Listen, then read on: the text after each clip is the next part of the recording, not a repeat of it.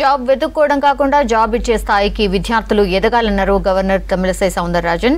JNTU Hyderabad tenth కాన్వకేషన్లో governor పాల్గొన్నారు. చిన్న విషయాలకు మానసికంగా కుంగిపోకుండా యూత్ చాలా స్ట్రాంగ్గా ఉండాలన్నారు. విద్యార్థులు తమలో ఉన్న సృజనాత్మకత బయటపెట్టాలన్నారు Tamilisai Soundararajan.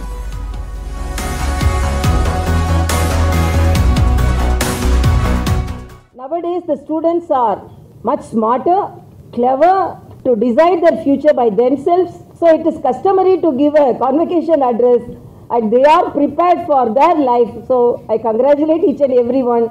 And uh, these medals, gold medals, gold medalists, it is not the, it's not made of gold. It is made of sweat, blood, conviction, sacrifice. So I congratulate you all and I am congratulating the students who are not getting the medals also. I was working as an assistant professor in a medical college and I was called as a good teacher.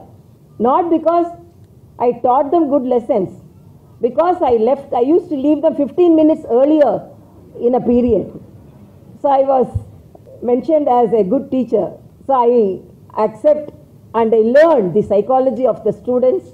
One side, the students are very talented, the students are very confident, but at the same time, I see the youngsters who are depressed and who even go to the extent of suicidal tendencies. So always be confident. Nobody can be perfect. So be confident. That is my, I cannot say advice, my appeal to you.